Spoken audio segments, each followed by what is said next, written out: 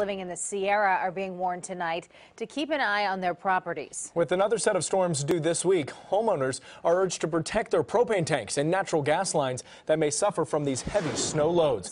CBS 13 Shirin Rajaee joins us live now from Soda Springs with how some are preparing for all of this. Shirin?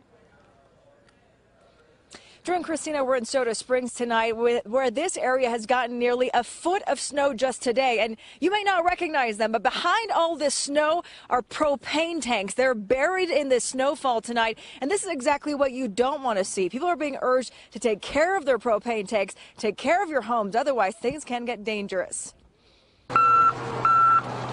As Caltrans crews prepare for the next round of winter storms, keeping roadways open and clear, homeowners in the area are hard at work.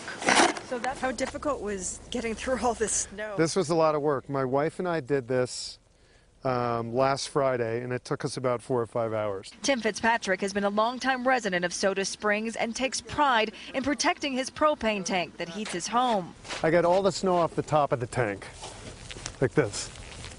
We keep a big horseshoe around our propane tank. Propane tanks and natural gas lines and valves can be damaged by deep snowpack, resulting in gas leaks. And if that happens, it will go into the house, fill up the house, and your house slowly fills up with propane.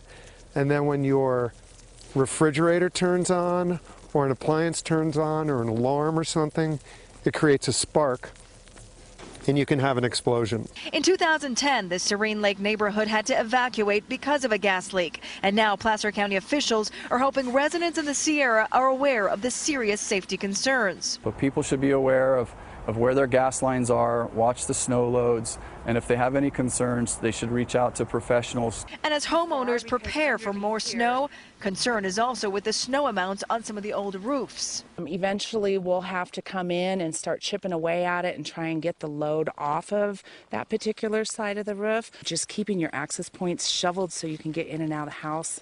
It's a lot of work. Definitely a lot of work. And out here live, if your propane tank is buried in snow just like this, you're asked to not try to deal with it on your own, but to contact experts to come out and shovel it out and make sure that it's protected. Also, check your roof vents and your chimneys to make sure you're getting proper ventilation. But all of this, of course, in, in, a, in light of more storms to come. Some incredible drifts. Sharon, thank you.